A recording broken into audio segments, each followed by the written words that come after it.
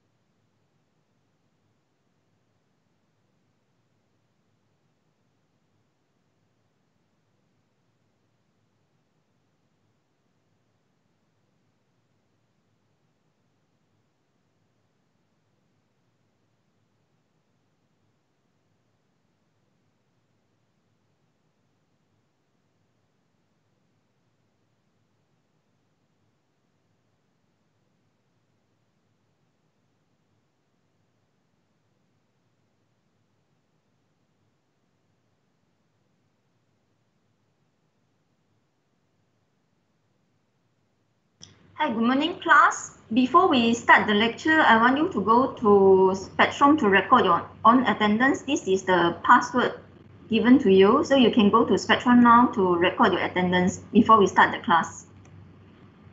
So uh, normally for every class that you attend, I will give you the password to record your attendance on Spectrum as a proof of your attendance. Okay, you can go to record it first before we start the class.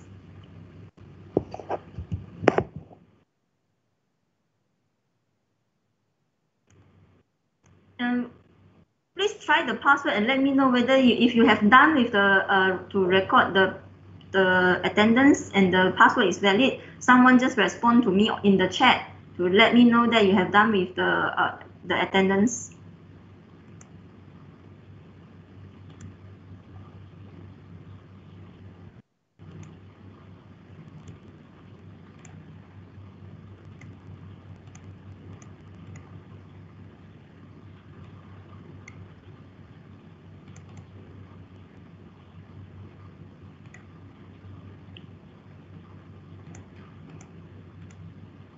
Okay, good.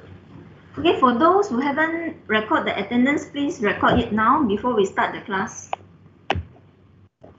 For those who just joined the class for today's attendance, I already shared the password here. So please use this password to record your own attendance on Spectrum. Okay, thanks for the students who have responded to my my uh, to to the attendance Okay, for those who haven't recorded attendance, this is today's password for the attendance. So record your own attendance using this password.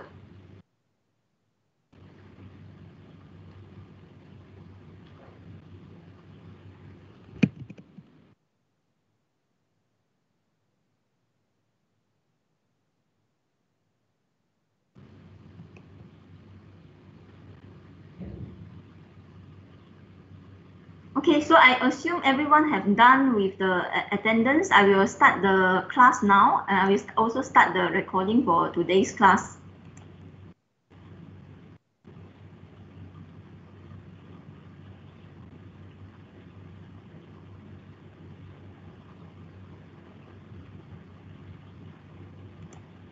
Okay, good morning class. Welcome back to the university. I think this is already the third day you have attended a few classes before before the web programming class. So this is today classes. So I will on my camera at least for those students who have not seen me before. At least you can have a look at my face. Okay. So I think most of you I except for those that if let's say I interviewed you before when you are enter UN, maybe you have uh, you have seen me before. But for those students who have never seen me before, so this is, I just on the video for two days, at least you can see uh, who is the lecturers teaching you. Okay, so for before we start the lecture, I will first give you the course introductions for, for WIF 2003. So this is, I will start with the course pro forma. So this is the course, this is a web programming course, three credit hours, and total you will have 120 student learning time, including the uh, all the teaching uh, teaching and learning time, assessment time. In this course, you need to achieve four. We need to achieve four main learning outcomes. At the end of the course, you should be able to use different protocols, languages, techniques, and tools for web programming. Apply the concepts and functions of client-server architecture on the web. You should know how to apply this and recognize some uh, the different quality issues in relation to web-based applications and how to build good quality soft, uh, web applications. And lastly, you should be able to implement an interactive website with regard to relevant quality issues, how you should uh, improve the usability aspects or how you should improve the security aspects in, of your system, for example. For this course, we will assess your soft skills in terms of critical thinking and problem solving skills, teamwork skills, professional ethics and moral. So these are some brief informations of the, for this course content. For the assessment, 50% go for continuous assessment. We will also have 50% final exam. But the final exam, I will replace it uh, to alternative assessments. Later, I will uh, let you know what are the alternative assessment to replace the uh, final exam. And normally, I will uh, announce all the grades through the through Spectrum. So during the uh, so later, I will show you in the current course informations what are the assessments. And you can also download a copy of the course pro forma and also current uh, the current course informations from Spectrum. So normally all the materials and resources, I will share it on, uh, I will share them on Spectrum so you can download all the resources, the latest one. So for those, if you are unfamiliar with Microsoft Teams, you can also uh, you can also uh, download a, uh, see what my guidelines how to use it. it. It will be good if you can download the software on your on your Windows because I will use this as a main platform to, to have our class. Now I will go through the course information for this semester. So the class will be conducted in, in English and these are some references that we will uh, we will use in this course for, for the lecture notes and also for some exercises. Reference. For learning strategies, we will have live online lecture, we have live online lab. There are also some e-learning so when we don't have online classes, I will share the materials on Spectrum so that you can do your own e-learning. So this is, the, we will have 38 hours face-to-face, -face, 8 hours non-face-to-face learning, and 74 hours for your student preparation time. So at the end of this course, you should be able to pick up skills to develop web applications. So this is important. I, I need to emphasize again because because uh, for you to build up how to build up a proper applications web programming class is actually quite important and it is also building your foundations for your FYP project. So I really hope you can put more effort to to do in this course to pick up all the necessary skills that you need and the necessary understanding to design a good applications. Because this understanding also will help you if, if when you learn mobile mobile applications development, all these so this is considered the first, maybe it's your first course that you really integrate all your knowledge that you have learned in programming, you have learned in design, you have learned in database, put all need to be integrated together. in this course to build a proper applications with UI, connect to the database, and also you need, you need to know how to handle the request and response from the client side from the users. So this is my name, uh, uh, Dr. Chiang. If, if you have a chance at the end of this semester to come back to the faculty, this is my room uh, located at Block B, and this is my room number. My room is quite near to student center, but I'm not sure whether you have been to the faculty before or not since your batch started. I, I think you you may have been here like for a few weeks before the COVID uh, and MCO. So you uh, if you know the student center, my room is quite near to the student center. If you have a chance to come back to when you have a chance to come back to the faculty, if you want to make any appointment with me to meet me in the room, this is my room number. At the moment, if you have any issues or requests or anything that you want to ask me, send me an email. So this is my email address. Please take note on, on this. We will have lecture Wednesday 11 to 1. And even when we have live classes, we will I will conduct it on Teams. For lab, we have two lab groups, group 1 and group 2. So for group 1, we will conduct it from 2 p.m. to 3 p.m., group 2, 3 p.m. to 4 p.m. So you need to join the lab sessions that you have selected. So all the live sessions will be conducted on Teams. So after after this class, I will create two sessions for, for the lab. So you join the sessions that you have registered. So don't click the wrong button. Click the right button to join the, the sessions on Friday. So we will start the lab uh, this week.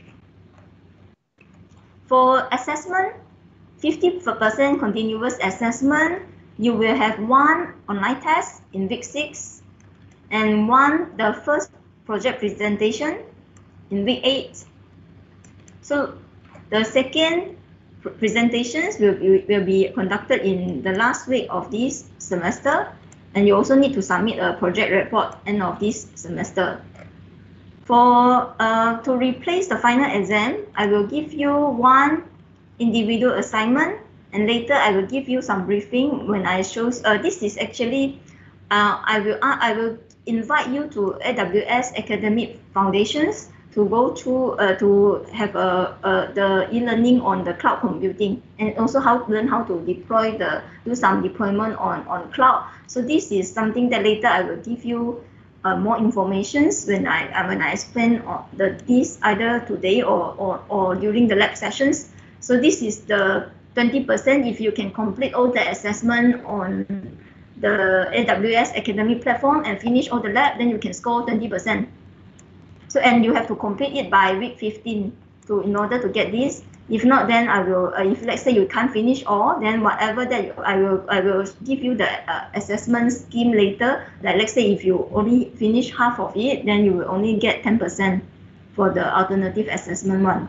So this is related to AWS uh, cloud cloud uh, cloud computing.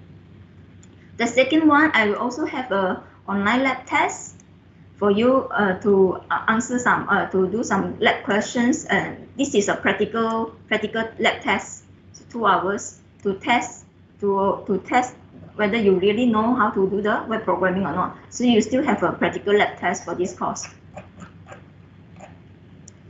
There are 14 weeks. So for the 14 weeks, this for this week, I will start, uh, I will not start the programming first. I will give you some uh, introductions to web development, quality attributes and also cloud computing. So later I also will show you uh, what will be uh, covered in the AWS Academy Foundations and this will be also a part of your individual assignment.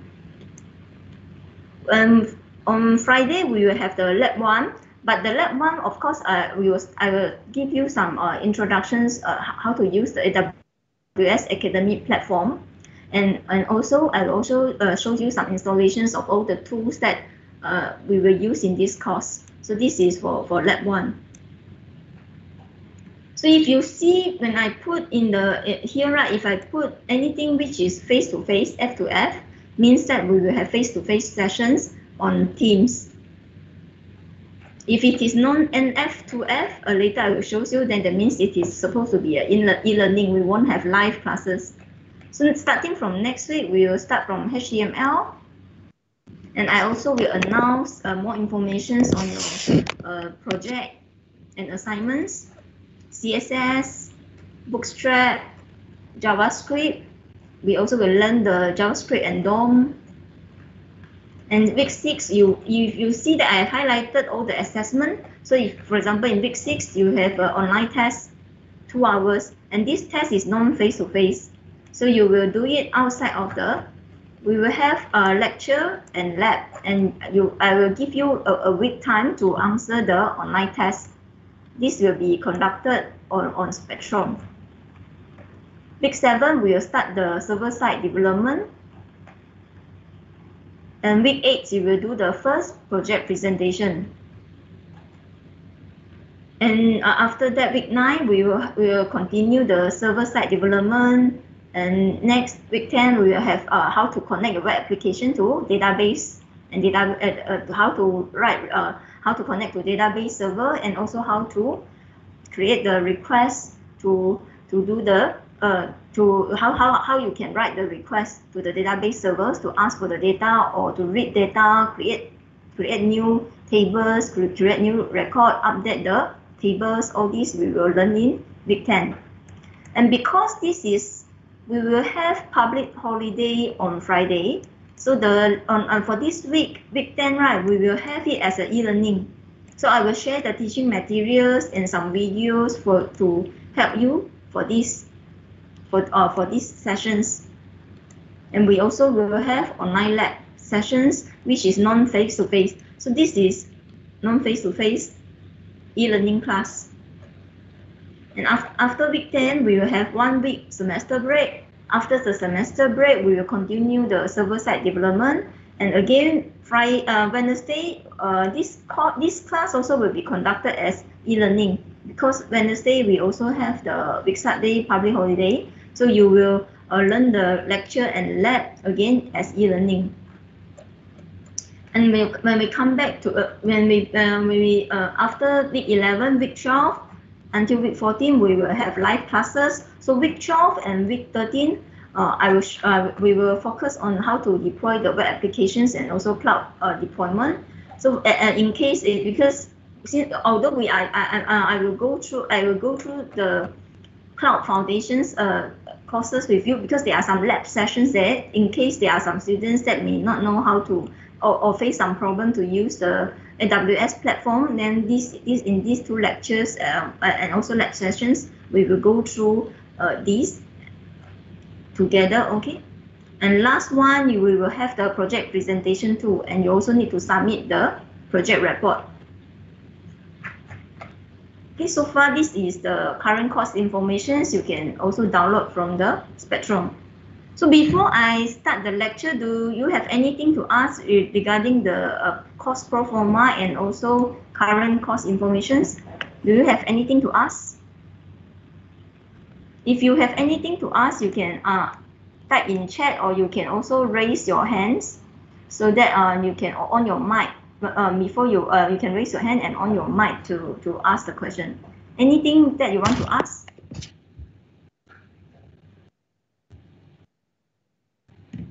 Nothing. Clear. So make sure you download it. Huh? Don't forget, especially the assessment part. Don't uh, you have to remember when do we have the assessment for for this course?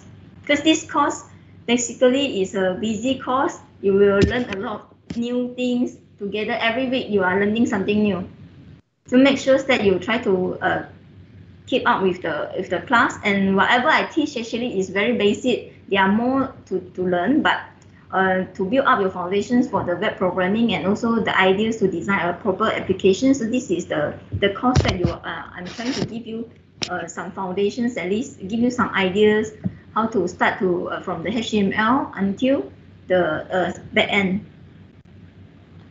Okay, so if you have nothing to ask, we will start today's lecture. Nothing, right? Confirm, yeah? Because no one responding, so I'm also not sure. So you all still with me, right? Yes, doctor. Okay, to make sure that everyone everyone is around, I, I, I will use this.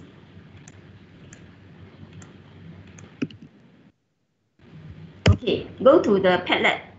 Go to this link. For those who are still around, still in my class, go to this link.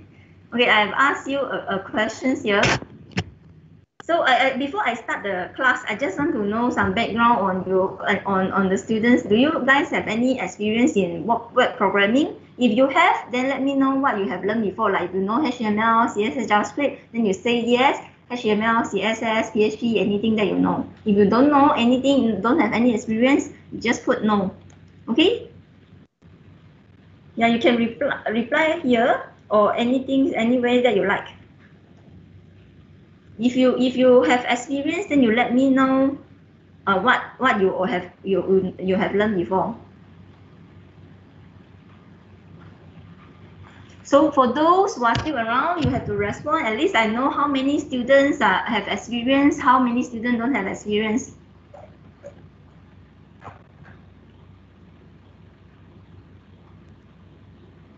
Okay? Who else haven't response if you are around you should respond to my queries. If not, I, I, I, I'm afraid that you, you, you will be missing in action. So respond to me. So I will use Padlet to, to interact with you. At least we can see instantly who have responded to me.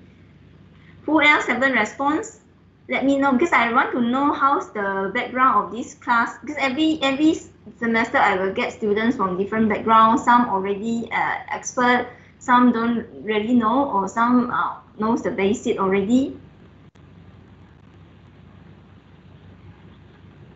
Okay. So who else have a response?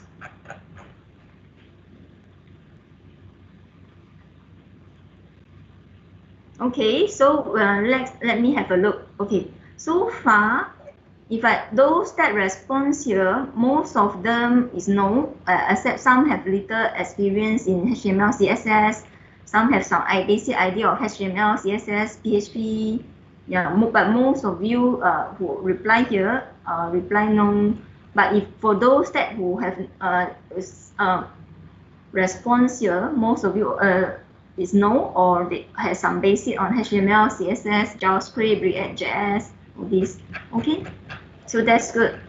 Um, for those who respond here, I can see there is an expert here, someone who knows HTML, CSS, JavaScript, Bootstrap, React, MongoDB, Express. So basically, I think I, as, I assume that these students, I'm not sure who is the student because since you put anonymous here, so I assume you will score, you should be able to score A very easily in this course.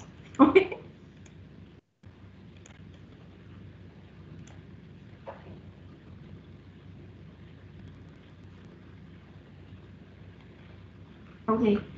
So basically, I think most of you only have basic understanding. Just what uh, so far I see one expert here. Some already have some background in HTML, CSS, PHP. Okay, and or some learn very basic in school. Okay, that's good. But uh, in this course, you know that uh, we only learn HTML in one week. Then you will see also one week in CSS, one week one week in JavaScript. So you really have to pick up very fast. When I give you let exercises, try to do it and practice it. If you not, you will lost track of this in this course. If you want to, uh, if you lost track, then you will find that you don't understand what I'm teaching. So I want uh, to for those if you only have basic, make sure that you uh, do the practice and also learn more at, on your own because I can't cover uh, a, a lot in this course. There are too many things to, to teach. So so I you really need to take your own initiative to learn more.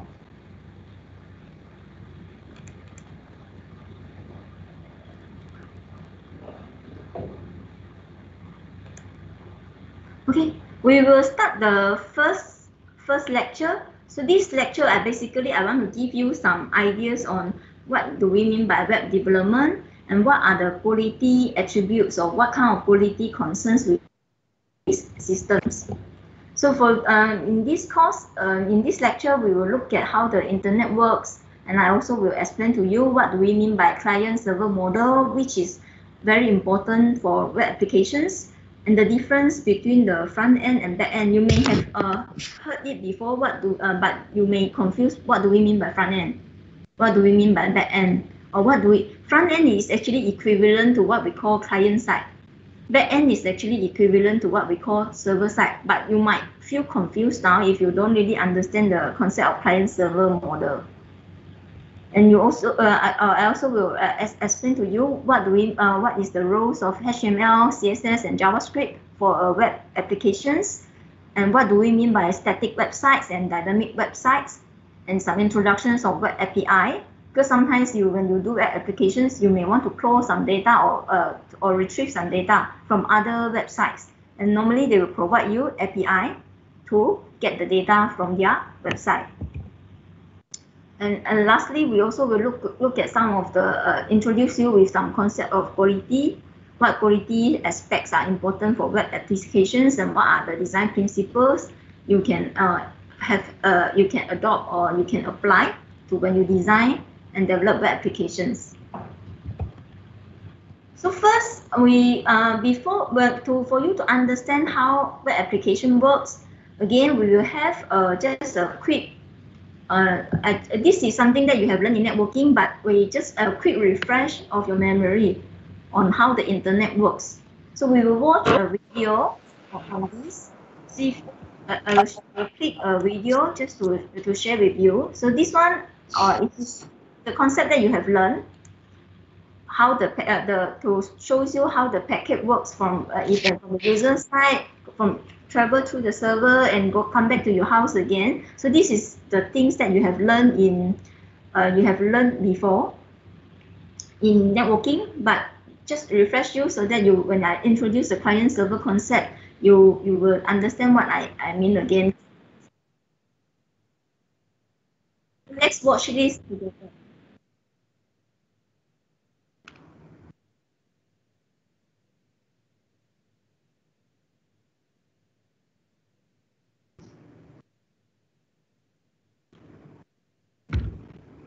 Mm.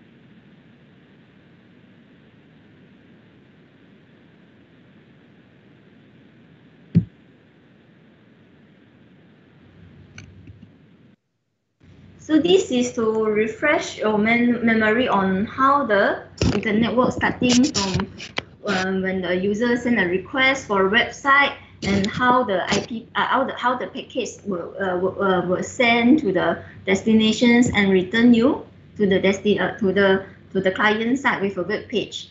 So you can uh, see this is actually something that you have learned in networking, but just to let uh, give you some uh, ideas on how the internet works and the client server concept is actually um, based on, on the how the internet works. So when we when we have a uh, when you request for for a web applications for a website, for example, uh, if you, if let's say now you want to go to you want to download a form or check the latest timetable on FSKTM. So what you will do, you will type in the the the, the address right of FSKTM. So you, for example, so let's say now, okay. So we come to this when we type this, when we type this, we it will re eventually return us with the FSKTM website, and we can browse through to get information. For example, if you want to get the latest timetable, you will go to undergraduate and download the class timetable. So basically, this is a re request that you will send and it will be translated into the IP address 103.18.2.130. Uh, and the web server, once they receive the re uh, request from you or from me, they, they will go to figure out how to, they will look for this website which have reside from the uh, in the web server and builds the, the content to send me the, the homepage of FSKTM.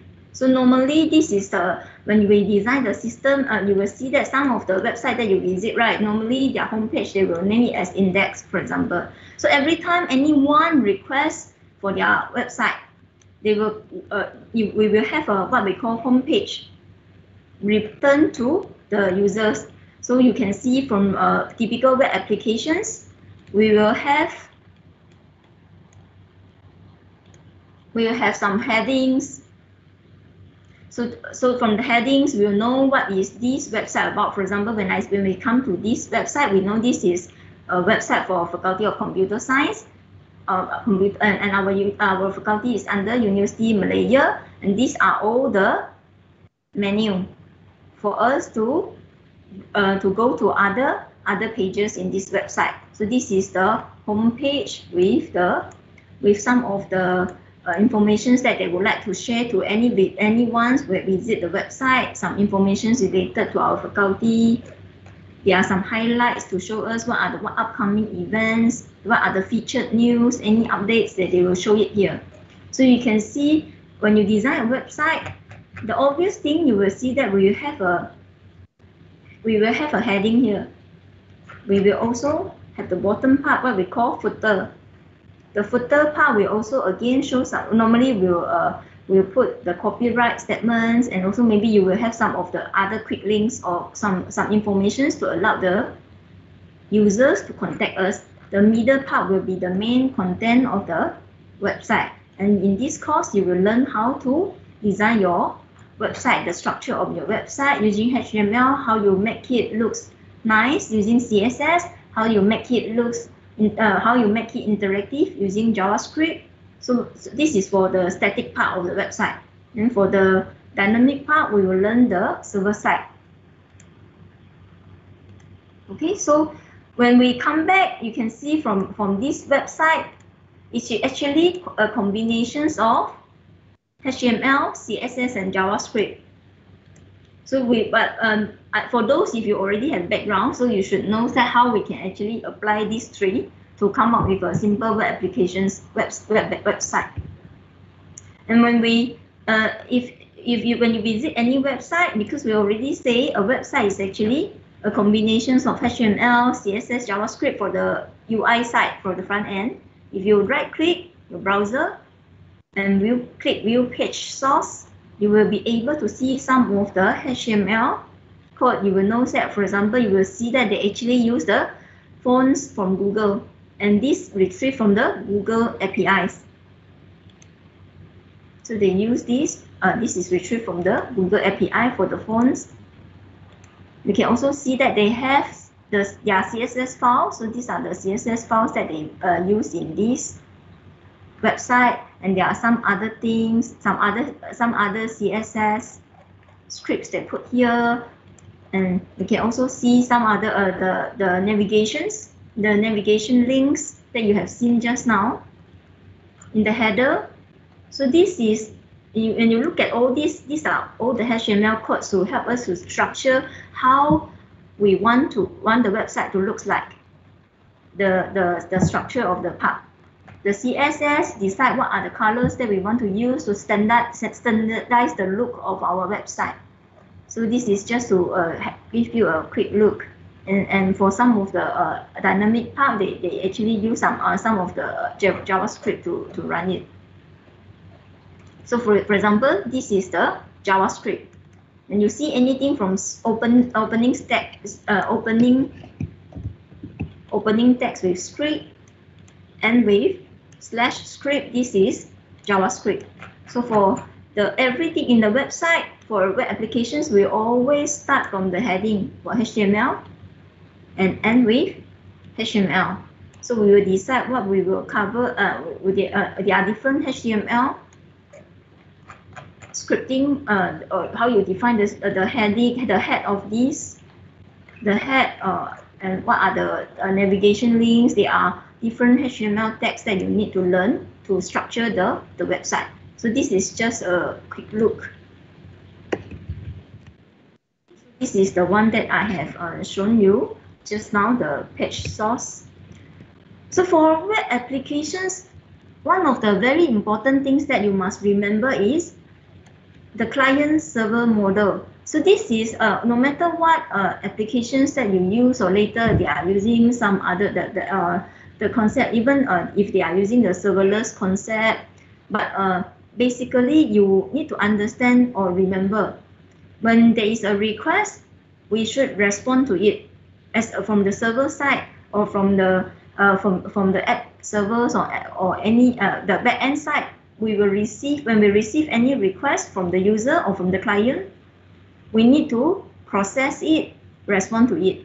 So client server model basically give you the basic idea of how a web application works. It all started from, we have a website, for example, in uh, for just now we have looked at FSKTM. When we, when we open the browser, type this address, and it returns us with uh, this we are actually submitting a request when we type this if when I come here click any link again I'm submitting another request so when I submit this request you can see that they are running right? So when they are running it means that they are processing your request. If the website is super fast sometimes you don't even realize that it is processing. You may not even see this if your inter uh, if their server is fast enough or, or my internet is fast enough. Sometimes like very quick, they already respond to you. So you may not even realize that they are responding. Like just now, uh, when I click it, you can feel that if they are processing, then you can see they are not loading the page very fast. So you can feel that they are actually processing the request at the server side, and then they, they know that I'm ask uh, I'm I'm actually requesting for the staff intranet. I want to go to the staff intranet when I click the the link or when I click UN I want to go to UN so they will process this and respond to me the website that I requested. So client basically is the from the user side, like uh, when we uh, the users how the user send the request. So this one you already know. We use browser. Okay, we use browser.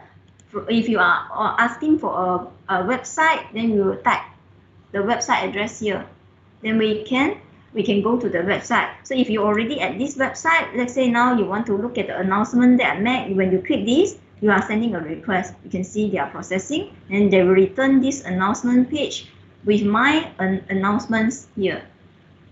So this is the information that they shows you in the format of a table.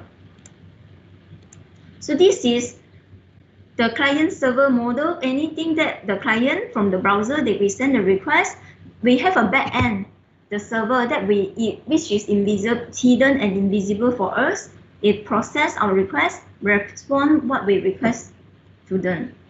If it is not found, then they will also inform us that this page is uh, not found or the server is down. So web browsers, uh, just now I, I mentioned that we have different web browsers. So um, basically, I think I'm not sure what is the web browsers that you all normally use. No, nah, just to make sure that you, you, you are still around, you can have a, you can respond here.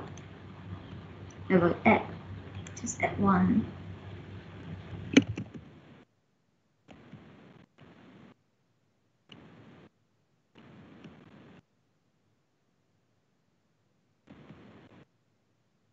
Can you see the, I have asked uh, questions here. So please re reply. You, you can reply uh, as a comments under under this.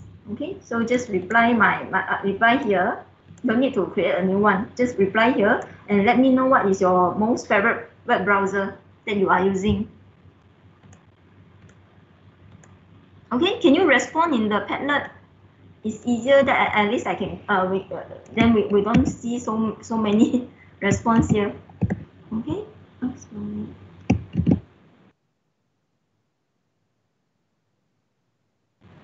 So we go to the Padlet and response. What is your, uh, is it okay? Is it working? Um,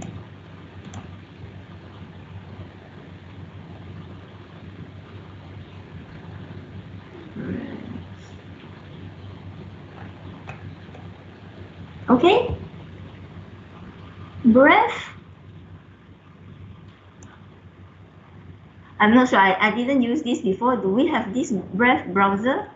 We have uh, Chrome, Safari, Chrome, Firefox, Google Chrome, Firefox. Okay, those who are using Safari, you are you a Mac users? Most probably you are Mac users. MacBook users, so maybe uh, that's why you are using it. I used to like Firefox, but after uh, when I started using Google Chrome, I switched to Google Chrome. And if I am I'm using my MacBook, then I, I will uh, I will use Safari, or when I'm using my iPhone, then I also will use my Safari. So different web browsers, and when you do your web programming, right, when you design your UI, one thing is uh, you will sometimes you will see the effect is different especially uh, when you use Bootstrap or when you use some of the HTML uh, codes, you will find that the appearance will be a bit different. But basically, the web browsers will interpret our HTML markup markup together, the in uh, together because normally sometimes we uh, in our web pages we can, like for example just now FSKTM right we can see a lot of images that we have included in this website. Sometimes also we may embed video. We can have other assets and all these are a grid of pixels for display. And different browsers, they will uh, they will uh, combine all these, all our elements together to show us, to render the users a complete website, how it looks. So you can see from uh, for web, from web browsers, the browsers basically from a, a user when you open your uh, your internet web browsers, you send when you send a request, is it is normally a GET request to the server. If the server, uh, for example, you uh, you are uh, in this example, if you see the diagram, they are uh, the user is requesting vacation.html page. So the request sent to the web server. So the web server process it and render the website to the user. And again, the user for each of the resource in HTML that they will make if there is any additional request again they will process uh, they will uh, so all these HTML page the HTML markup language the all the CSS files they will retrieve all the pictures or video they will combine together and shows you as a complete website so this is how the the the roles played by the web browser they will interpret everything together from the uh, those sent from the web server combine them together and shows you as a complete UI, web, uh, web UI to the users. So and now, just now uh, when, when I introduce the client server, you can you will always see that we will always have a, a what we call a web servers behind when we want to process or respond to the user's request. We need someone to work for us when you write a web applications, you are not going to stay in front of these, respond to the to the request. So we have the uh, web servers which will help us to handle all the HTTP requests. I think this one you should have uh, familiar with what we mean by HTTP when you learn networking, so I won't repeat the theory again. The main roles played by web server is it is a server that helps us to re respond to all the HTTP requests sent from the client side. The client may be a machine and also can be a, a real user, a real human. So all the requests sent to the web server will be processed. And normally, if you are using a web server, it should be powerful enough to handle a lot of requests. If not, your website, let's say, if your server is don't have enough computing power, processing power, your website will down when it exceeds the capacity. So you can see that sometimes maybe, uh, for example, when I if I when I give you ask you to submit or ask you to do online quiz, sometimes students will tell me that spectrum down. For example, if let's say 100 of you access spectrum together, there will be a, an issue that the web server may not respond to the HTTP request, and you will see that they will uh, after sometimes you might you might have the experience that the server is down. So that means that the server already handle uh, already reached the maximum capacity of the response request that the servers can handle or can process.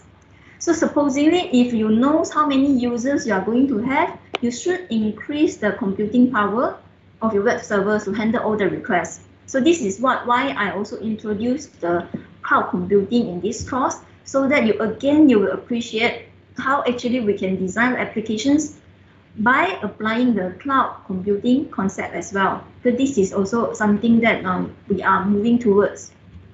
So I also hope the students who are learning web programming also know what is web compute, what, what is cloud computing and how we can actually utilize all the uh, cloud resources to increase our processing power, uh, increase our capacity. Oh, these are di different things that actually the AWS, for example, the platforms like AWS or Microsoft, they all have their cloud, their cloud platforms to support us with different uh, computing resources, database, all these things. Later, uh, I will give you the introduction for the cloud computing side.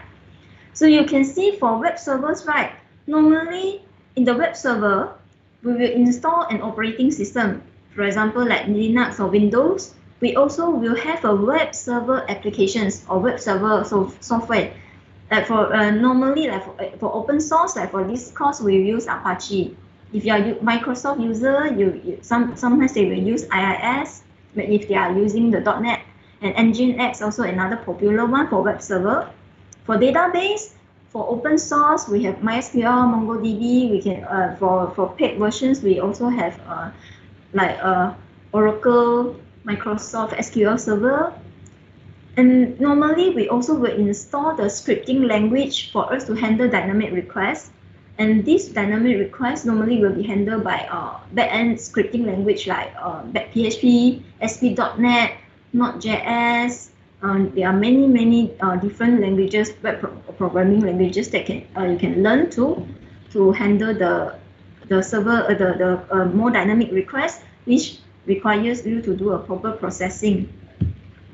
So this uh, in the web server normally what this is what we call stack application stack, and we will have uh, depends on what you are your your what is your need or sometimes depends on what your customer have requested you will build your web applications based on the stack that they requested or based on your experience. That uh, like for example uh, when you have a simple system you will use mysql but when your system becomes bigger you may go to oracle. Or sometimes you prefer to use rather than the structured database like mysql you want the non no sql you want to use no sql then you go for MongoDB. So this is also the different combinations of application stack that we can use in web uh, web development. So this is to show you typically when we have uh, when we say if you look for jobs, sometimes you will see people say uh, they are looking for stack developer. They when they are looking for stack developer, they assume that for for for web development they are assuming that you know how to do the front end and also back end. And for the front end part, you should be familiar with the HTML, JavaScript, CSS. For the back end part, uh, what are uh, the operating system, what are the backend language that you know, or app or web server database. So stacks basically is the bundles of different softwares that com uh, comprise your website back end from operating system to the uh, uh, to the web server. What are the web servers software that you want to use, the programming frameworks, this and that. All this combined together, then becomes the the stack. This is a an example of generic web uh, development stacks. So normally in a in a dynamic website for a dynamic dynamic web applications, for the client side, as usual, we have to give them an UI that will show them in the browser for, at the browser. They can see the UI and all the whatever things that they can we can do right. We will give them the functions or features like let's say now I go to Asia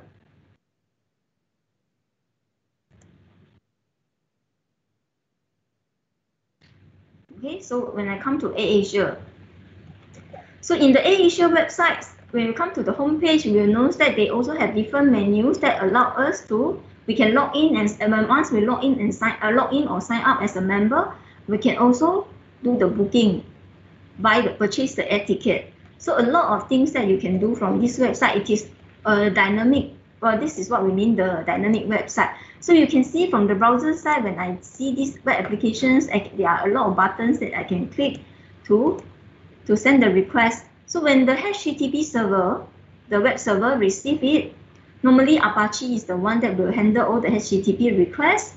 So they will look at, is the request is just a simple HTML file or graphic, like for example, the static website.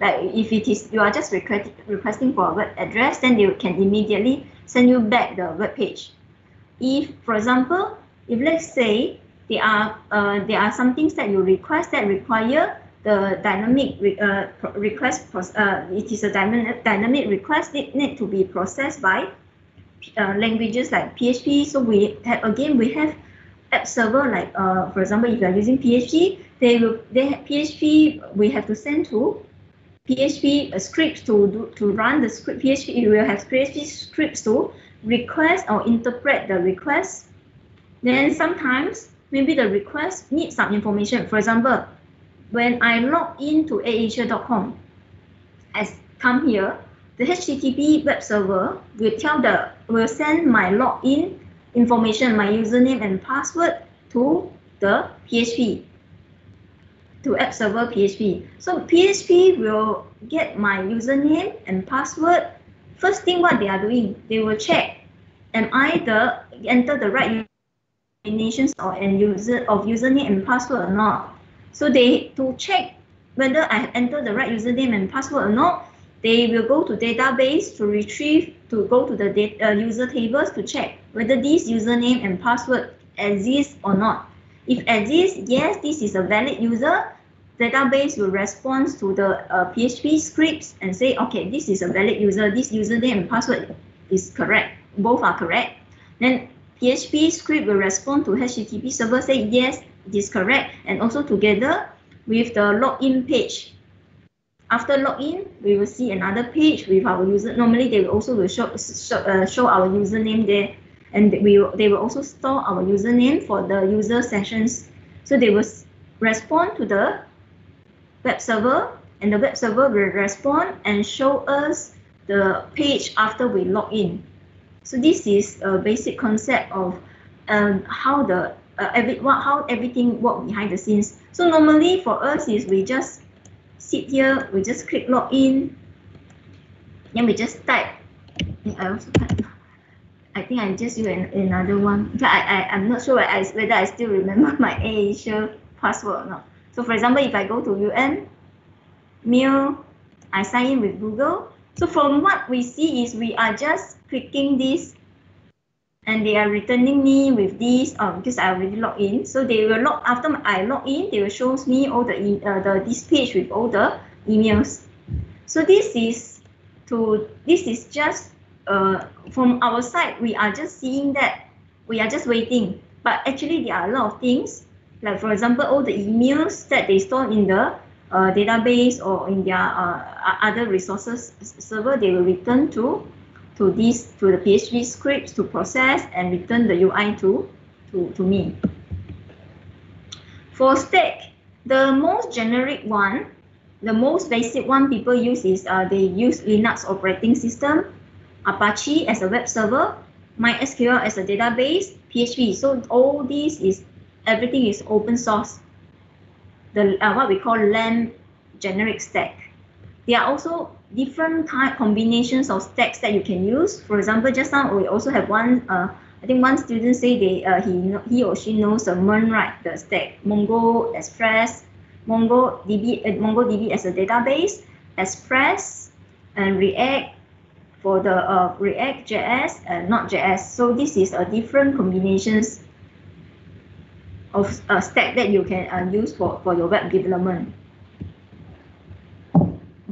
So so far before uh, before I continue, do you have any questions to ask for the previous things that I explained? Anything else that anything you are not clear or you want to ask?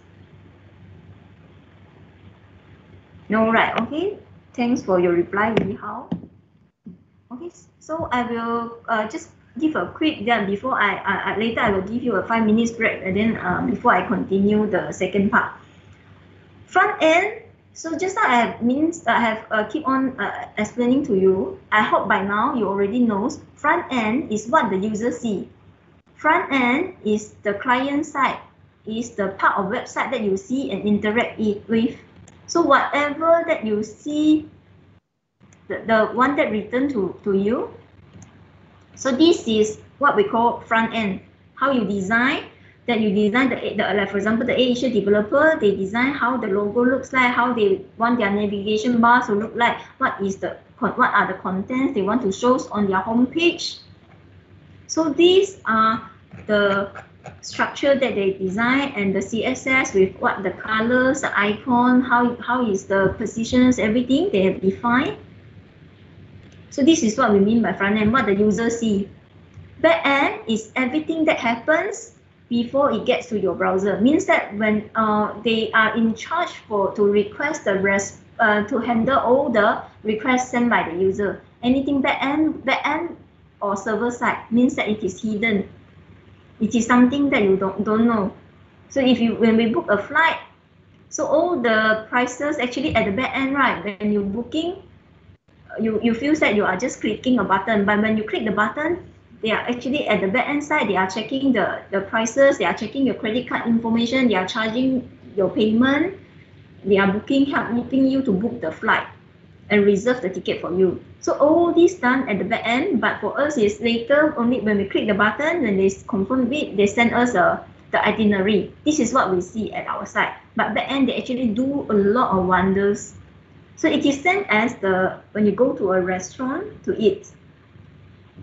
When you order something from the menu, like let's say today I feel like I want to eat a burger. I order from from the Grab applications. I order or I order from the sales uh, or from the from from the waiters. So I'm just sitting there to wait for them to serve me a burger. But whatever happened in the kitchen, I don't know.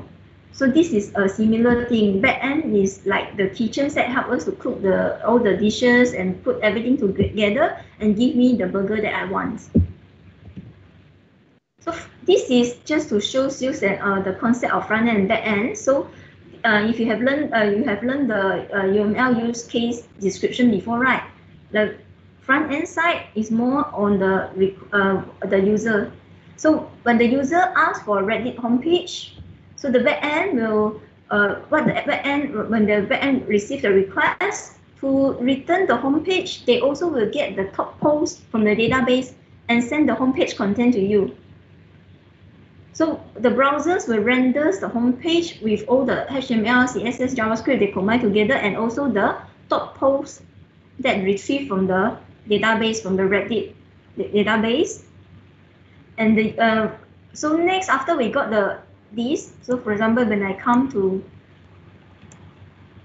Reddit, so this is I I'll come to their homepage. So this is the one that we that I already received from the server. So now I do and I send another request. I type this in the search box and submit the request.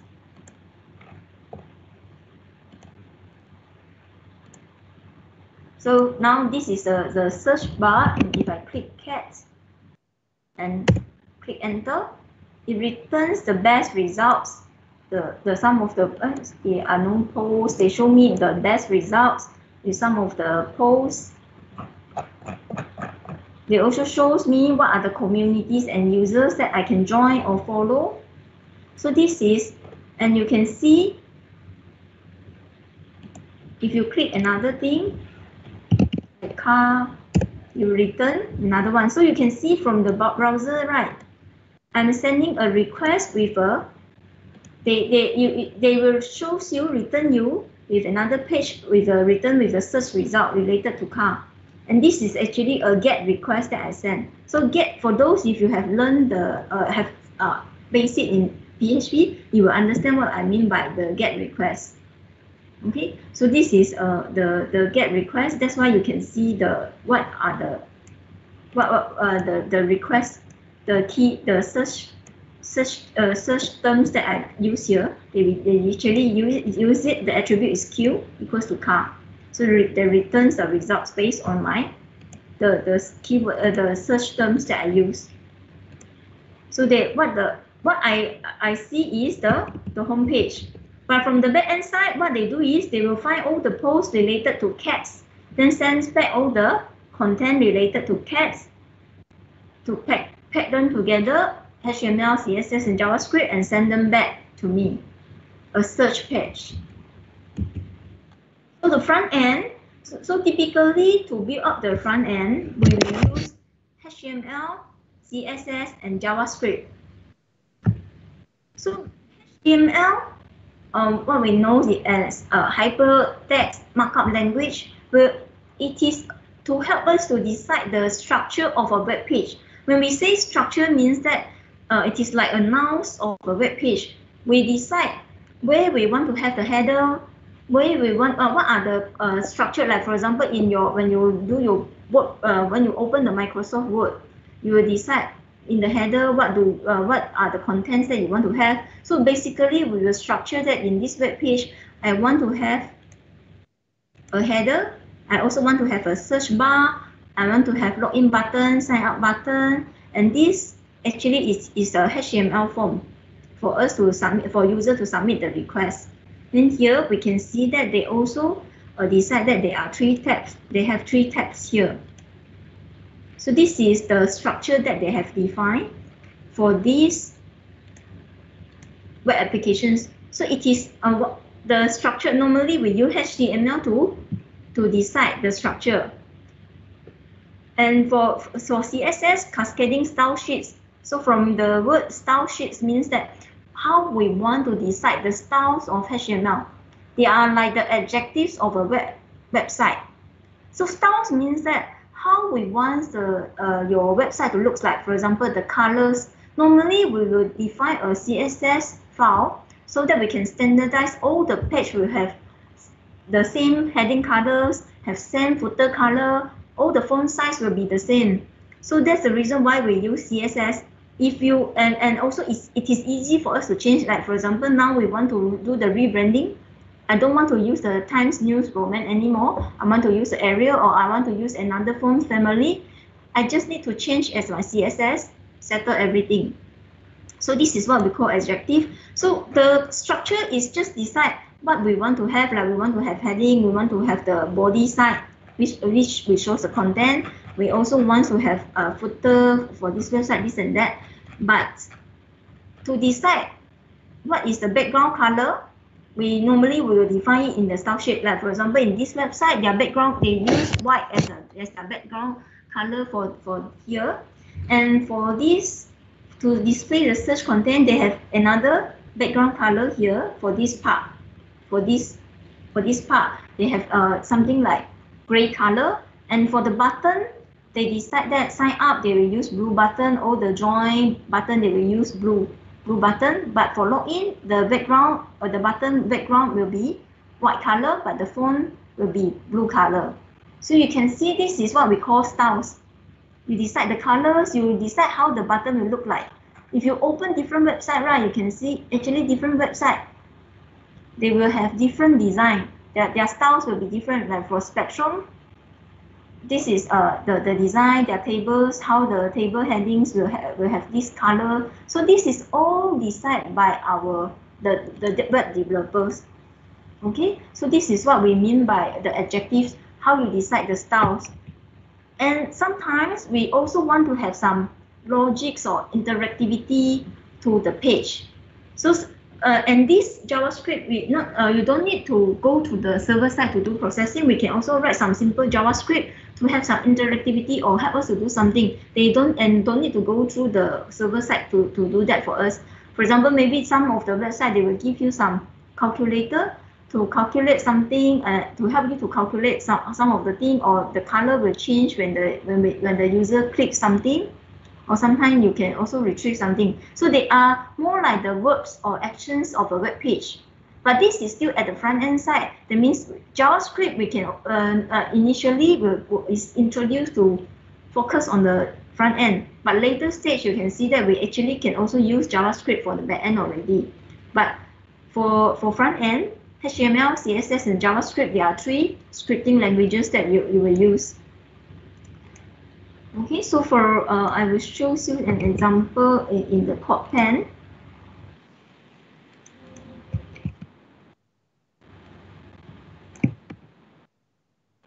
So this is just to show you the, the different uh, content, uh, how it works. If you are new to HTML, CSS, and JavaScript, then you can see this. So I will share the link here as well. Okay, so if you are very new, you need to understand the difference between HTML, CSS, and JavaScript. As I mentioned just now, HTML, so this is how my website will look like. So this is the UI side. From the HTML, we decide the structure. So H1 means this is the heading, and the size is 1. One is heading, H1 is the largest heading. So I have, I want to have a, a, a heading sentence here, I want big text here, for example. So this is the opening tag H1, closing tag. So this is the markup text for HTML. Anything, uh, when you write HTML, there are different taggings that you need to learn, different HTML elements with different text that you have to learn. So there are some popular ones that you, you normally you can memorize it easily. So when you see UL, they are unordered list. LI means this is the list item. So from here, from this one, if you are familiar with HTML, you will know that this will be a, a list and it will show as an unordered list with, with bullet points. By default, they will show as a bullet point. So we can see the content is here. So HTML normally will also include the contents that we want to, static content. Ah. So in he heading one, the content that I want to display in my website. So these are the two items that I want to show. And I also want to have a button here make me a button here. So if I, this is to decide the structure and the content. So in this website, I want to have a heading, want to have a list and also a button. So this is what, I, what we mean by structure. CSS decide the styles, the heading. So what is the colors for this? I decide I want to use purple color. The purple is my favorite color, for example. Button, so for this button, I want to have a border.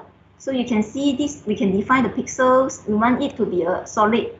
You can also change it to dash. And what is the color of my border, border line? Background color, this is the, the codes of the color code. And this the color here means the font color. When we only put colors, right, that means this is a font color. And I will use white as a font color for this button. So these are the two things so we can see that when you define CSS, right, you have to tell me what is the elements that I want to add the styles. So if you want to add styles to H1, so the, there are different attributes that we can uh, we can do. We can also change the font font type. Okay, so this is uh this is to to show you like for example for button, then you have to put but the name of the elements here open curly bracket and close the curly bracket and what is the attribute that you want to change and what are the values. Okay, so this is to show you the example. CSS handle the style. So if for if let's say I now I don't want it to look uh, to be purple color, I can change the color here, change to red. Okay, it refresh and show me it is red color now. So for example, for button also, if let's say now I don't want the the color, the background colors, it, uh, I, I want to change the background color to yellow. Then I put it here. We change to yellow and I want the font color change to black. I can change it. Okay, so this is something, uh, let me check. I, I, I think should be dash if I remember correctly. Is it correct? Yes. So I change the solid to dash, then you now you can see the line, the border line become dash. Of course, you don't have to mem memorize every everything because you can, uh, if you have seen what I share in the in the general part, there is a, a W3Schools, right? There are a lot of guidelines for us to, uh, you don't have to memorize everything. Even if you want, uh, you can't remember all the uh, attributes, this and that, you can just Google it, like HTML for dash lines, this and that. Okay, so it is quite simple, so you don't have to worry that you have to memorize everything, but the simple one you can always remember. For example, now unordered list, right? So if you want it to be ordered list, then you can change it to OL. And now it will show me as a ordered list means you give numbering to the list by default, it will be using 1, 2, 3, 4. So if you want, you have to define, if you want to become ABCD, of course, you have to change it. Or sometimes we, we can also define, or uh, uh, we can also use like something like bootstrap, this and that, to, to uh, do some of our styling. So this will we will also cover in this course how to use bootstrap template or bootstrap to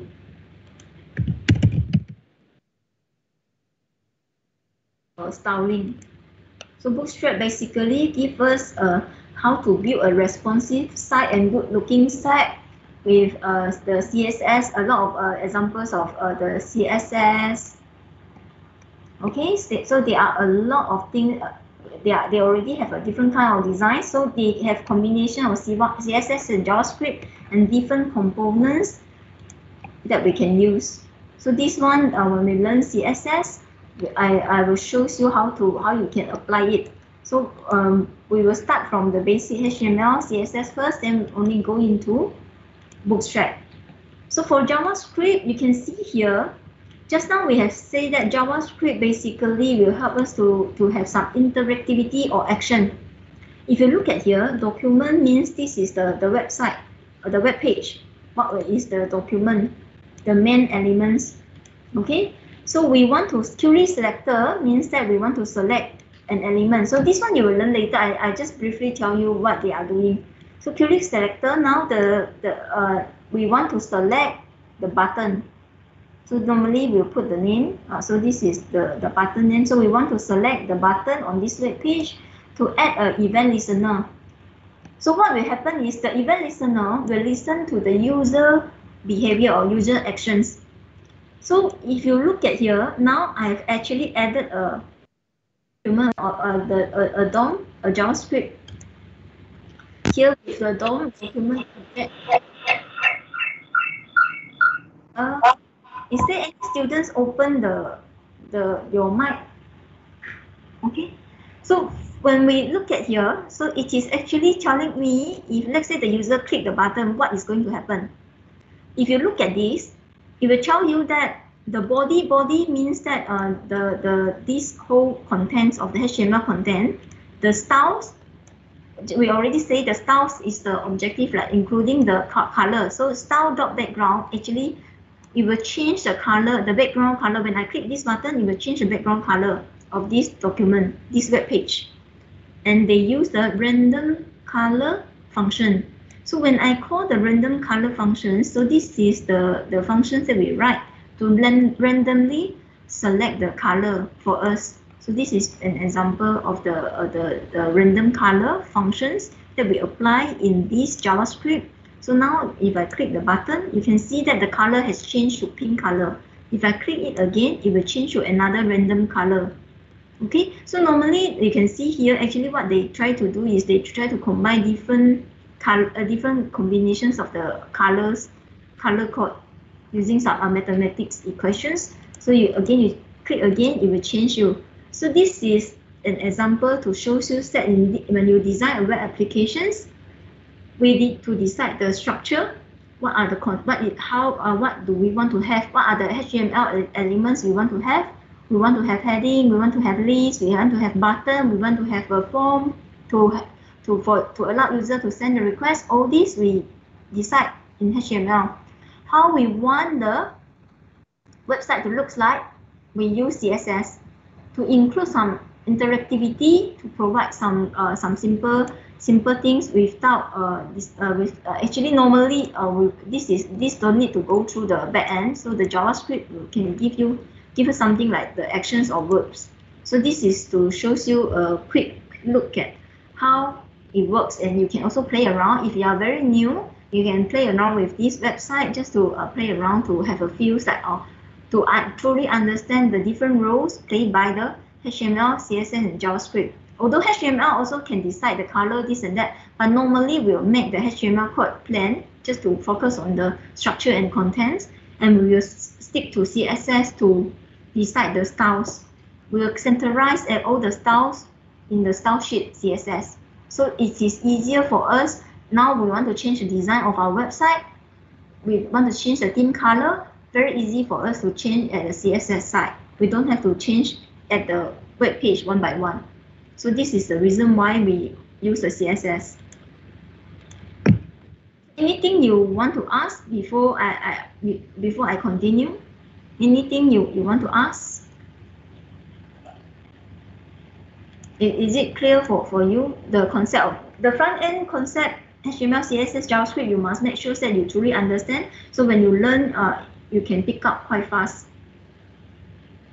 Okay, so uh, I will give you a, do you want a break for five minutes?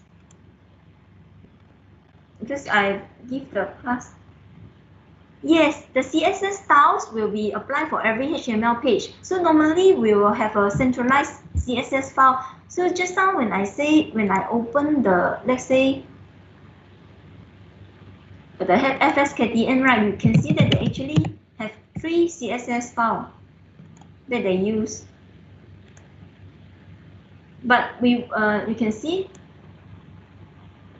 this is the CSS file. They, they actually apply some bootstrap. Uh, they have uh, CSS. So this is the CSS file that they use to standardize. So later, if they want to change anything, of course, this is the uh, reside in their web server, so we cannot make any changes to the CSS, but we will know what others, what they have used it.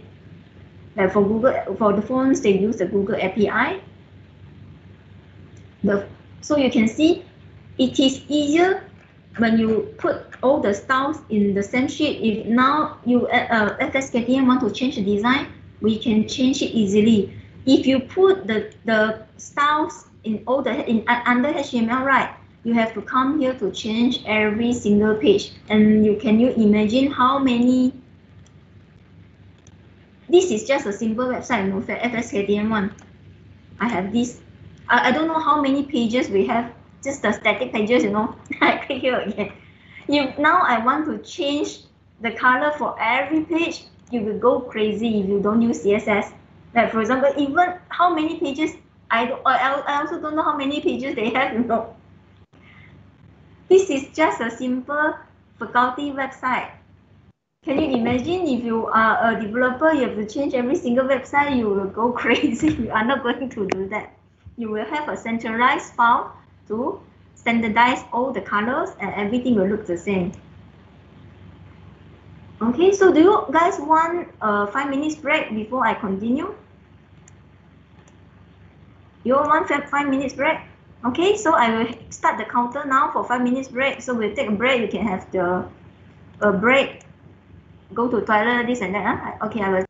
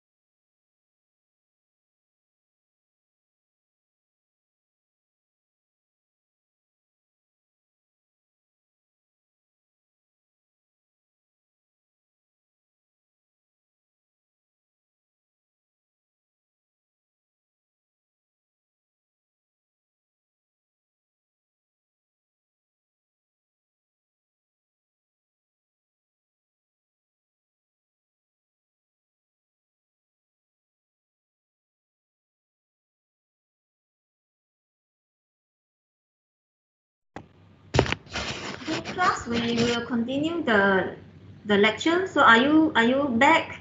Someone please respond here if you are online. If you are still with me. Yes. Thanks. Thanks for responding to me.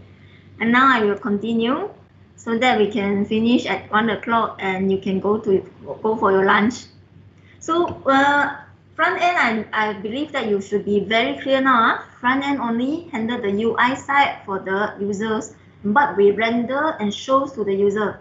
At the back end, when people send the request to us, for the back end, we normally, for, for us to process the request from client or from user, client side, we the typical setup for back end, you must have a web server, of course, for us to get the to receive the HTTP request from the internet, from the browser. We for us to we normally we also for dynamic website you also need to have application server so that you can run your PHP scripts. For example, if you are using PHP, then you have to run your PHP script. So you also have the app server you also have, again, if you store, if you are a dynamic website, you also need to store the data, right? For example, for our uh, students registration system, we need to store all the use uh, the students information, the courses that you registered. So we need a database to handle this. We will separate the functions. Web server handle the HTTP request, application server run the uh, then pass the if any request uh, required processing. Uh, it is a dynamic request. That server will pass to application server. When the application process the request and found that the script running and found that they need to retrieve something from database or create a new record to database, it will connect to the database server. So this is normally what we need to set up from that end. They will work together. Like for example, in the AirAsia system, they will, when we search for flights, to put up the web page, they will go to their database to search what are the available flights, then send it back to us. So the backend depends on the system functionality, can be very simple and also can be very complicated. For example, for a basic search function, it is quite simple. User enter the search term,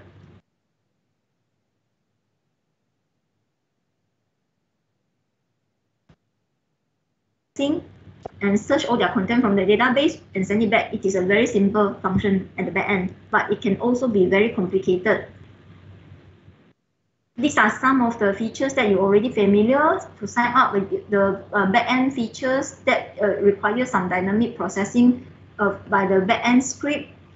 When we create a new user account, when we add a new post, all these need to all this we will require some further processing and also normally we will store these informations in the database. So these are some potential backend features. So normally after we done everything, the backend will, uh, will combine all the contents or informations that we want to respond to the user together with, from the data collect uh, retrieve from database, what how we want the to present the data to the user, the combinations of HTML, CSS, and JavaScript will send to the client side. Normally all this front end, we already designed, but we just put in the dynamic content. Okay, so for in web applications, of course, we will start from developing static website, which teach you how to do the basic HTML, CSS, JavaScript, how to use Bootstrap. So we will start from, from static website, then we will move into dynamic website. So the static website means that it does not change in response to the user input. That means it won't uh, requires a lot of uh, any any uh, scripting further further processing by the PHP scripts or anything. It just show the static contents. So for dynamic website, the contents, the changes will change based on the parameters that are sent to the web applications by the web browser. For example, when we log into the system, actually for different users, they will create uh, sessions for the user and also uh, they will also have a dynamic content for this particular user. So let's say when you log into Facebook, your Facebook homepage will be different from my Facebook homepage because we have different friend lists. We also have different posts from our friends. So the contents will be different, although we all you are using Facebook. So this is what we mean by dynamic. So how about how do you you know how to differentiate, right? So for our faculty website, this is static or dynamic. So dynamic. Huh? Dynamic. Okay. Which part is dynamic? Static. And this is more mostly a static. I, I accept if you go into like for example, uh, if I'm going to and, and the, uh, this is in our website basically they only give you informations so everything is static they upload and show you so this is more like a static website they shows you the media show you all the images. But if we go to uh, hold on a uh, like let's say Asia. They have static contents but they have a lot of dynamic features as well.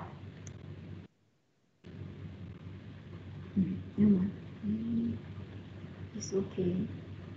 Okay, so we can see when we search the flights. Okay, so this is something like uh, if I'm going to Sabah.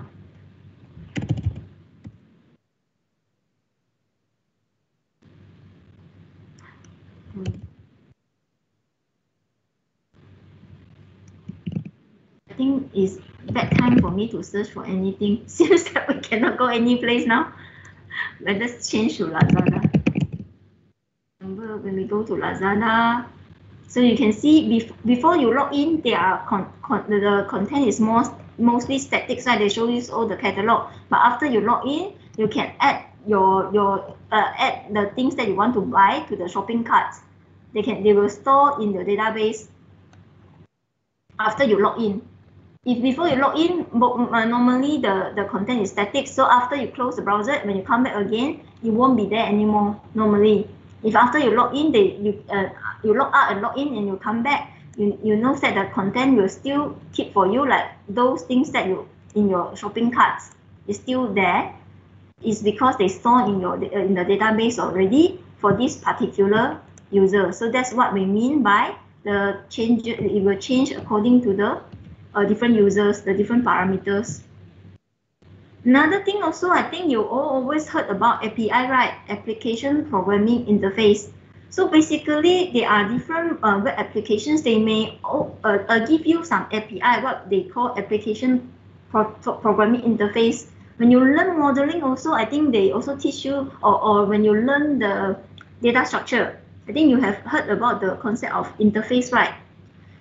API is to protect our applications from the attack normally. Sometimes um, other applications want to talk to our applications or web application, for example. To avoid them uh, uh, access our features or functionality directly or gives any attacks, normally we will give them some sort of like interface that only allow them to talk to us they will, uh, they this will this interface will give allow us to they will give us some something like API uh, show give you some API codes or uh, normally you when you when you when let's say you have a web applications you want to use the FB login. They will give you something like on uh, their API that you can use their API to talk to the Facebook to get the login informations so that you can uh, allow your user to log in using Facebook for example. So this, they will give you an interface, then they will pass the data back to you, but they won't allow you to directly connect to their, uh, directly uh, do use any functions that they have in the Facebook. They give you interface, then they just give you back the data.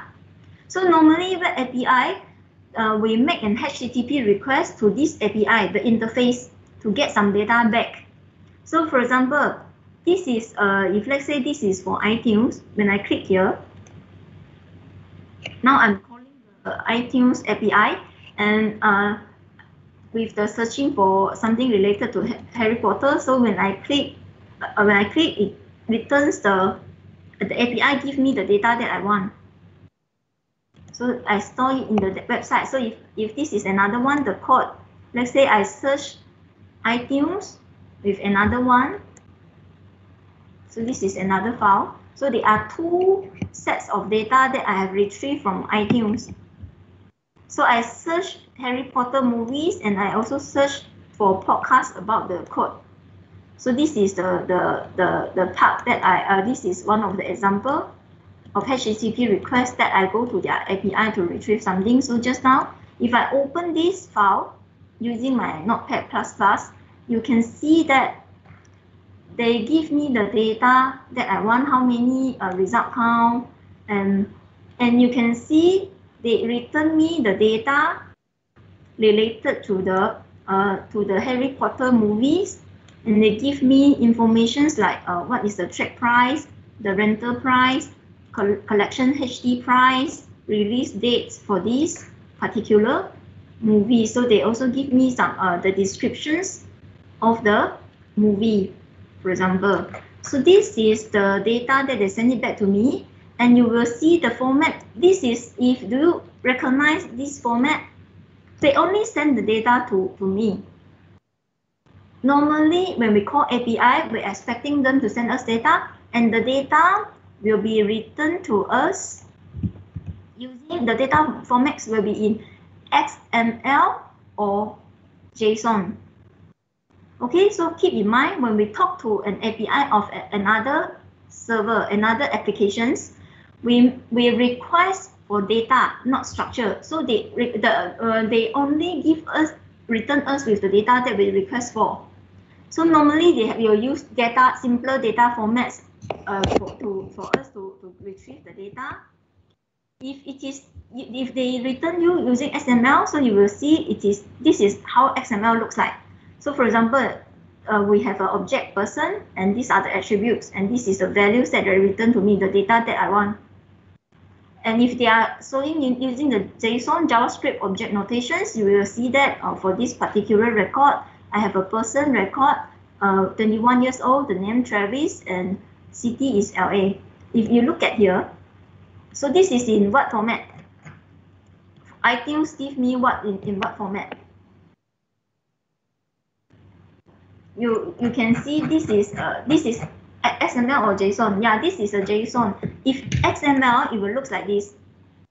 Okay, so this is JSON. And normally, no matter what data you give it to, even if you later, if you are writing your own, uh, you have your API server, you also want to uh, send back the data to, to your users, right? The user request, right? The HTTP request. You also need to learn. Normally, we should have the name of the attribute, and this is will be the values. This is similar to how you do the object oriented, but so, for example, they we know the result count. What is the meaning of this data? if you didn't put the attributes and values properly, the combination of key and value, then people don't know what you are returning. Like for example, the collection ID. So this is, we know these numbers, this data is the collection ID. So this is how we write the JSON or XML when we give people the, any data through API. Okay. So for uh, these are some there are some differences for between these two these two scripting. So for XML, so basically if you are using XML, you have to be uh, this have to be passed with an XML parser, and you also need to use XML DOM to look through the document when you when you extract the values. So normally when you receive it right, if you have an applications to call any API, you your site your head PHP script, you will also write something to to know how to pass the, uh, the informations to extract the values that you want. So you need to identify what are the key that you are looking for. Okay, so normally you can see in XML, everything also will have the closing tag and opening tag and also closing tag. Opening bracket, close bracket. So same thing for this one, uh, when we have these, uh, the, uh, they are actually, uh, it's a standard JavaScript formatting. So Sometimes people prefer this is because it is uh, everything is stored as a string. If you see here, although the data is very long, but believe it or not, it is just a string, one string. So it can uh, the uh, it is faster to search, shorter, quicker to read and search, or uh, you can also use it for uh, as arrays very fast. So sometimes for Ajax applications, they will use this because it is faster and easier than XML. So there are differences. Uh, I mean, at least you, you should uh, know the, the, the, the difference. Okay. So basically, to learn this course, the good thing is when if you really uh, pick up the the uh, all the skills that you have learned in uh, all the scriptings, the basic scriptings, then you further improve yourself in the web development. There are different roles or different jobs that you can find. You can become web developer, the software engineer, UI. If you prefer front end, you can become UI designer. If you uh, or front end developer, you can if you are good in all, all the concepts, you can also be a tester, quality assurance, you can also be sysadmin to write uh, to to develop system for the admin side. So far, the administration side there are there are a lot of back end thing to handle. If you love database, you can also be database administrator or security specialist. Anything hosted online need a lot of security features to avoid the website being attacked. So it is a, lot of job prospect if you are taking this web development course seriously, build up a good foundation, then learn more and more. There are a lot of things that can be learned in web development. This course is just give you some foundation, very basic thing. You have to improve yourself uh, more and more uh, after after this course. So these are different types of company web development company uh, uh, available in the market. There are startup company that uh, help people to develop system. There are also hosting company that provide the environment, the web server for people to host their website. We can, uh, for some companies like UM, we also have our internal web development team to build up some internal web applications for to support our university, uh, from, uh, some, some to run some operations for our university. There are also some design company specific, specifically help to design the UI of web applications. This company companies that have different but like different they are considered give different they give you web server they also give you uh, a different computing resources different services. So all in. Okay? So uh, after you have uh, know the basis of web development another things that uh, I want to emphasize is the quality aspects of your system when you build a system, you develop your, fun your, your UI, very nice UI, you write your scripts. But one thing is, how is the quality of your system? So for, uh, for web applications, of course, um, there are a lot of challenges. Yeah, for web-based system, we know that there are a lot of new and unique challenges due to different factors. For example, changes in the economics.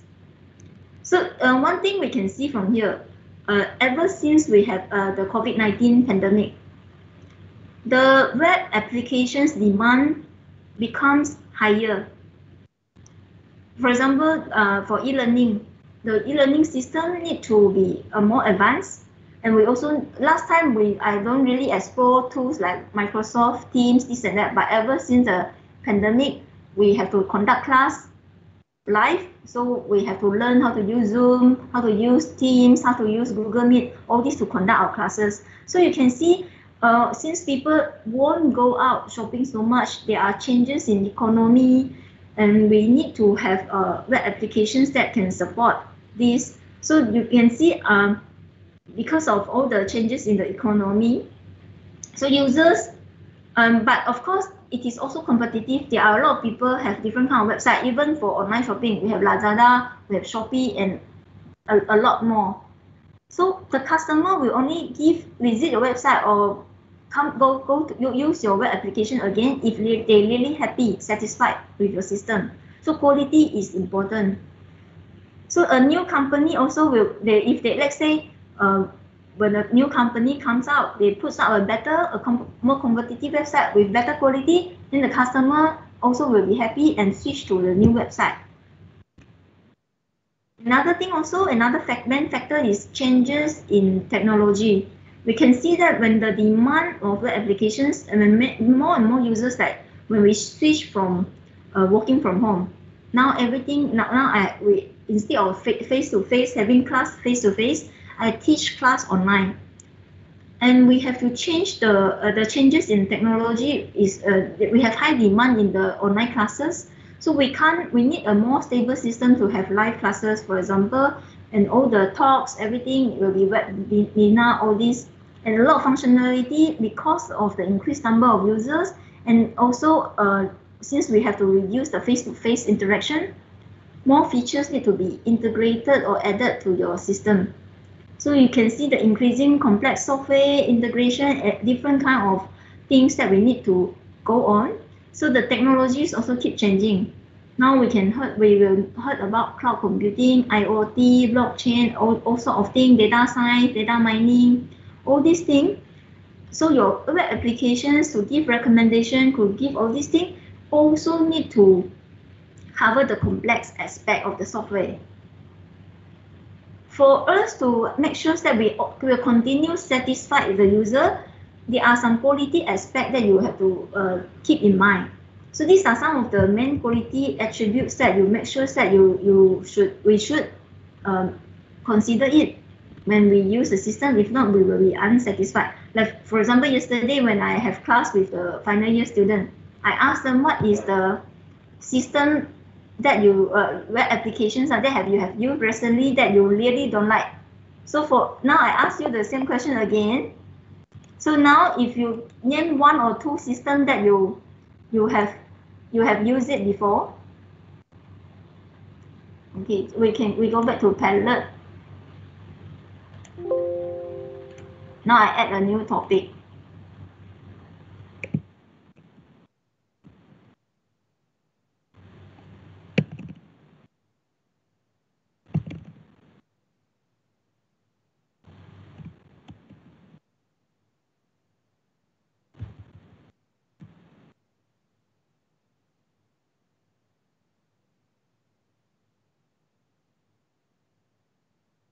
So I have posted a, a, a new questions here.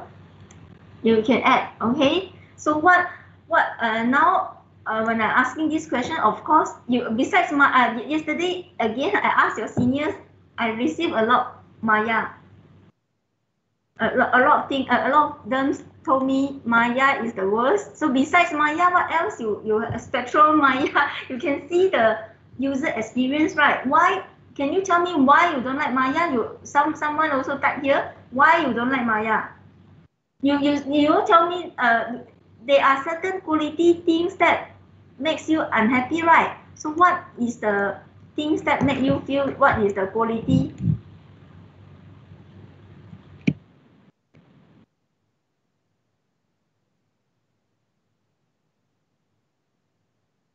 you face when you use Maya? So what is the problems that why you keep saying that you don't like it?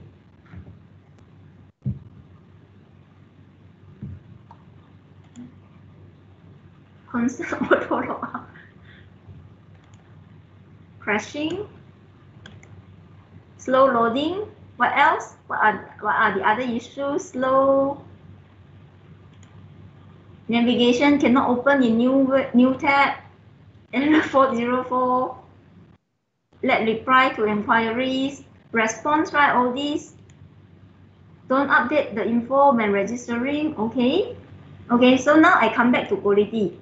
When you complain about Maya, what happened to Maya? Is it reliable?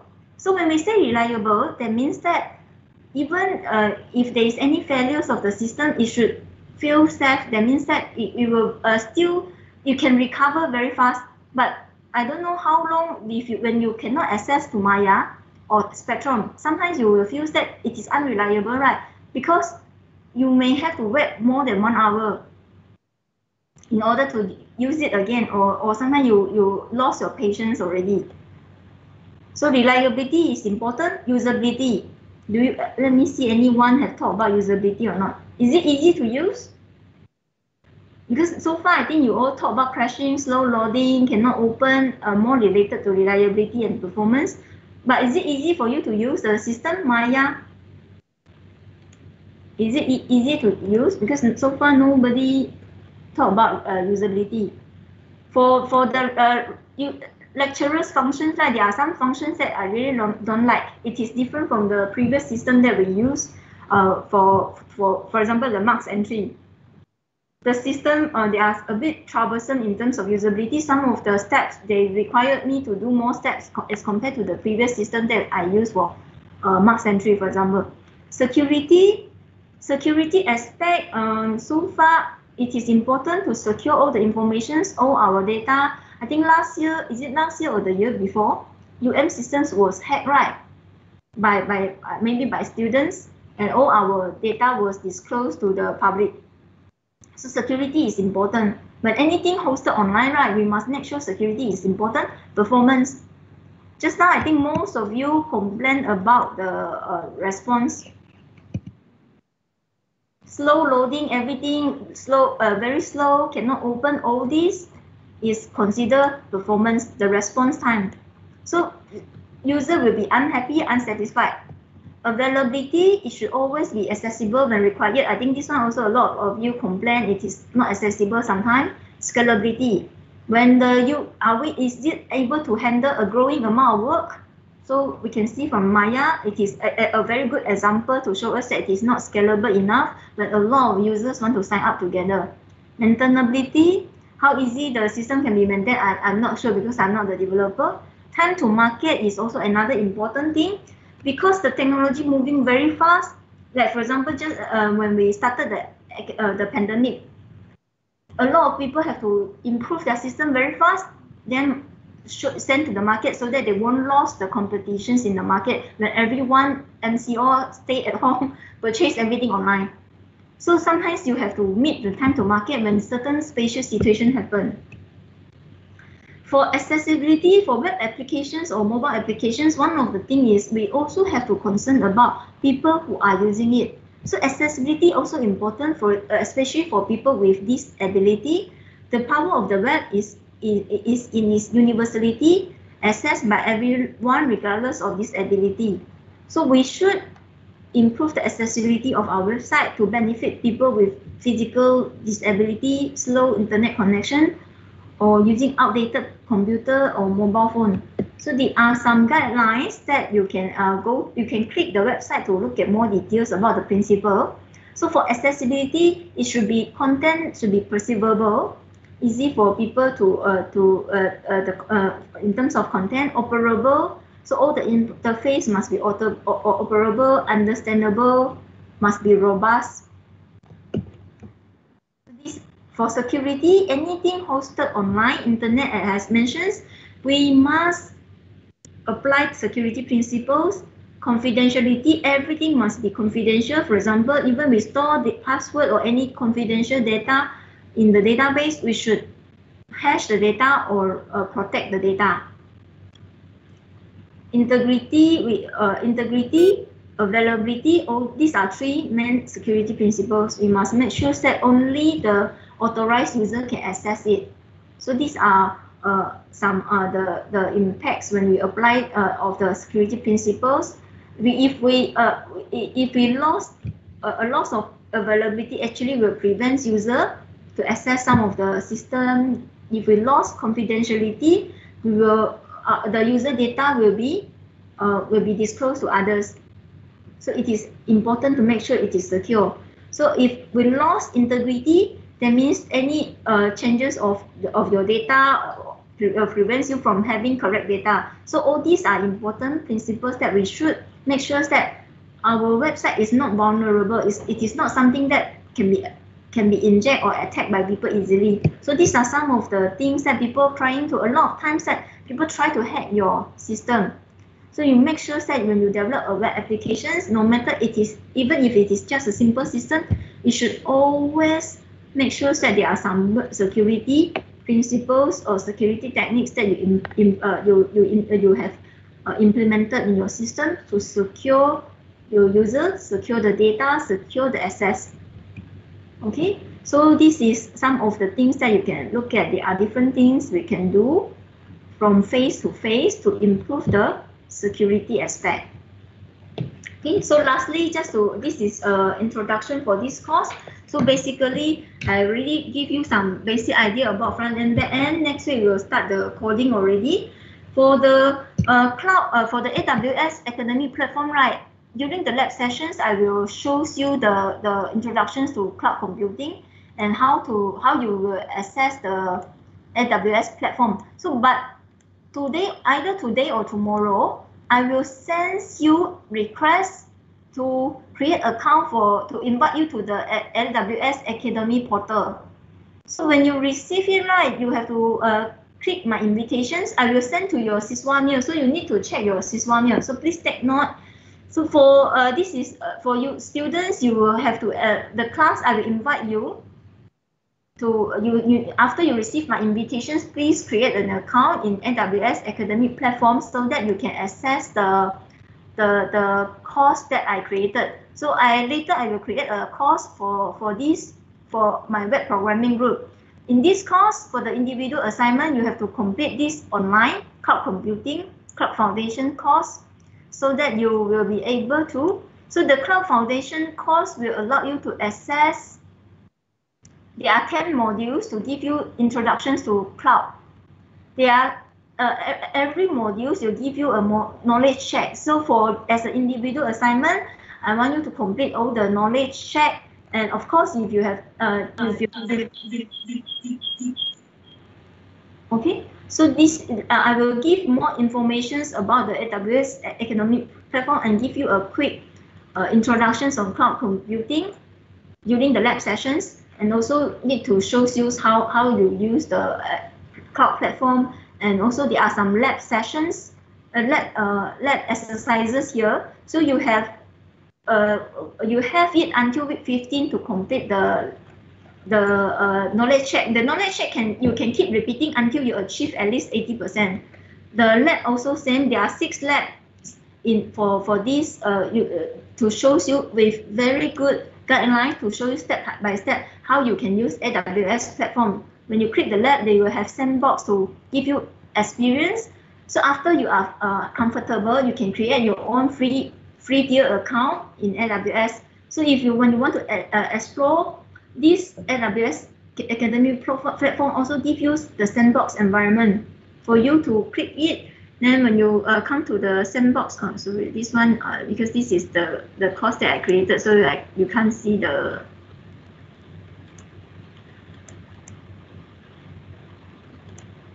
So this one, I uh, during the lab sessions, I will show you uh, the tools that we are going to use in this course. I'll show you some installation and ask you to install some of the tools for this course and, uh, and also do some demos for uh, show quickly shows you how to use the plat academic platform. And I also will give you some credits in AWS Educate for you to explore the uh, the cloud platform under AWS. Okay, so the more details I will, I will explain to you. Uh, I will explain to you in uh, later uh, in during the lab sessions. So this is for the lab one. We will uh, we will focus on installations and how to uh, use the AWS. So when you receive my invitations, please, uh, it will be good if you accept my invitations and create the account before the lab sessions, if, if possible. I will send the invitations today today or tomorrow before the before Friday I, I will send the invitations to all of you. So when you receive the invitations they will ask you to create account ask you to join the class because uh, since it since you don't have any account in the AWS Academy portal yet so when you receive the invitation to my class they will ask from you to create uh, a new user account first. So so this is uh, the uh, uh, during the lab sessions I will go through more details how you can uh, utilize the resources here to get yourself familiar with the cloud. Uh, but this is the cloud computing platform supported by AWS. So this is the teaching website, the teaching platform they have with the videos to give you uh, the understandings on cloud computing. So this one, uh, I will give you the introductions during the lab sessions and do uh, go through the, the platform with you. And also, uh, and again, uh, during the lab sessions, I will tell you uh, how to uh, what are the tools that you need to install for, for this course. So for the cloud, uh, um, if you are interested in uh, this is this is the part that you can uh, learn at your own, um, and you have until week 15 to complete this. Okay, so the uh, I will share more with you um, in in this and and at the end actually you can also claim a badge and and link to your LinkedIn and, and, and for your batch, right, I have a collaboration with MDEC. So if you have completed this online course for under the web programming, you will get another certificate from MDEC as well. So this one I will explain more on, during the lab session. So I hope all of you can attend the web sessions on, on Friday and to get more information about uh, this AWS Cloud Computing uh, Foundation course. Okay, so before before I, I end the class, uh, is there anything that you want to ask before I end the class? Anything that you, you want to ask or clarify or wants me to explain more during the uh, lab sessions? Uh, I have a question. Mm, okay. Uh, I wanted to know uh, which languages we'll be using uh, uh, in our coding.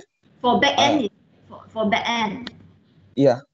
Okay, I, I plan to use uh, PHP because um one of the reason is uh actually I was considering to switch to Node.js or we, uh for PHP I'm thinking that whether we should use a framework or not.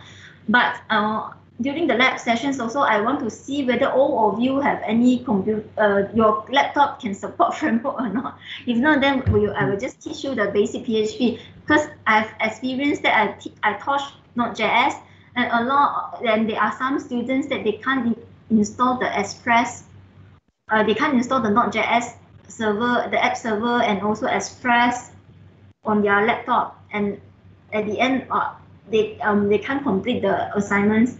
But if I, we are just using the basic PHP with XAMPP, just install XAMPP with the PHP, MySQL, Apache. Normally, students don't have problem. Their laptop can support the basic one.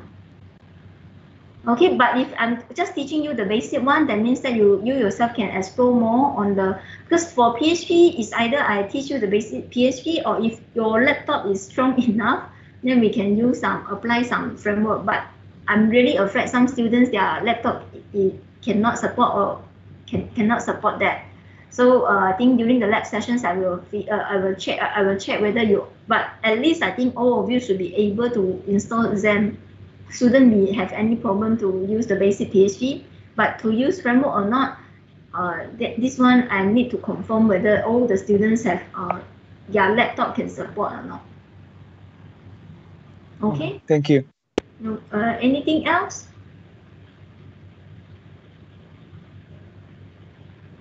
So if not, nothing else, okay, what are the different, okay, web page website is the same thing. The website, one web, normally we will say website. I come to this website and every, and when you navigate to from one to another, everything, this is considered one page. When I click here, I go to another page. So when you have a website, you will consist of many web pages.